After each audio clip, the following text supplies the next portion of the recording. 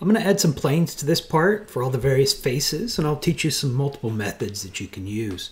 We'll start with my favorite method, real simple, which is just to click the origin, which immediately puts you into the new plane command. From here, just move it around, select an entity like a point, and you can place it, give it a name, and this is my new top plane. Click OK, and I've got it covered.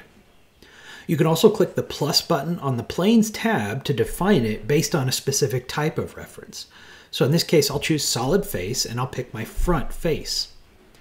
By default, it places it at the center of the face. So I'll click the reselect button to move it to the corner of the face that I want it to be at. Click OK. And oh, I need to name it. I forgot to name it. So just double click to rename.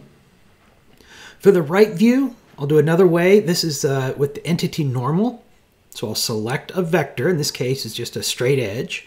And then I want to pick the orientation I need. I want the Z out and XY positive on the face.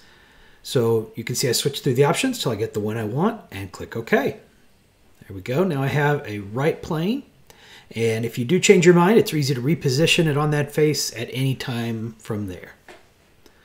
Uh, let's do one by geometry, and we'll do it on the back face. And for that one, I'm going to pick two edges for the X and then the Y axes. And notice it automatically gives me the exact orientation I want because of the order I selected them in. X, then Y with Z normal. For the bottom view, I'm going to go normal to that view. Uh, so I want to go normal, use the Alt keys to go normal. So Alt 3, well, that's back. Alt 4 takes me to the bottom. That's the one I want. So I'm looking exactly where I want my view to be and I can now say new plane based on the graphics orientation, the G view.